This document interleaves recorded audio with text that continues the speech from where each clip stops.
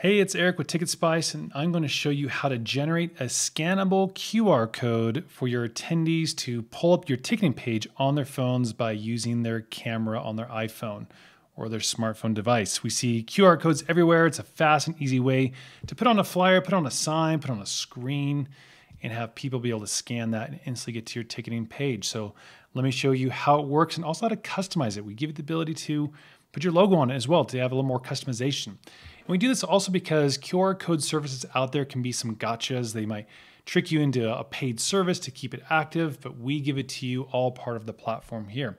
So to generate it, we're going to go under the promote tab and we're to go to QR code generator.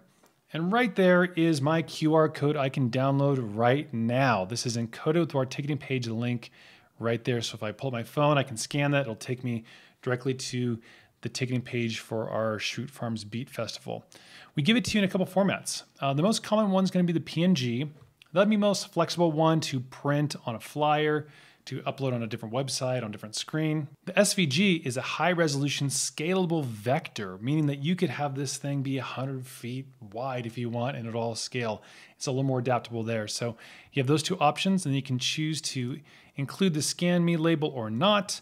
But check this out, if we wanna make this more custom, we can hit upload logo and let's add in the Schrute Farms logo on there. And voila, we've got our customized QR code. Now, this is a little tricky because if you just add any image on a QR code, you might actually break how the QR code works. So this is very specific. So uh, you can have that there and we'll make sure that it works all for you. We can add a different one here. We can make woof a sponsor as well. And so you've got a lot of options there and customization for making your QR code exactly how you want it. But when you're ready, you just select the option, hit download, and right there on my desktop is ready to be used to share, distribute, to print, whatever it is that you want to use it for. And we make it again nice and easy. How cool is that? So that's your tutorial on the QR code generator inside TicketSpice.